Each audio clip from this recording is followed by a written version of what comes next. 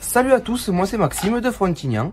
Aujourd'hui, je voulais vous présenter les embouts à visser PZ2 de chez Hunger. Donc euh, pour commencer, on voit l'emballage au top, plastique solide, ouverture, il n'y a plus qu'à faire ça et à remettre dedans, c'est nickel.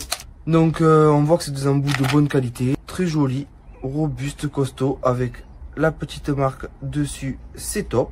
On voit que ça épouse bien la forme de la vis. Pas de jeu, ça ne bouge pas, c'est nickel. Donc maintenant, on prend, hop, on visse. C'est nickel, pas de dérapage, pas de glissage. On voit que l'embout, il tient bien, il tient la route. Une boîte de 25, c'est ultra pratique parce que c'est vrai qu'on en perd très souvent. Une marque que je recommande, bonne qualité. Et voilà. Merci Hanger. À bientôt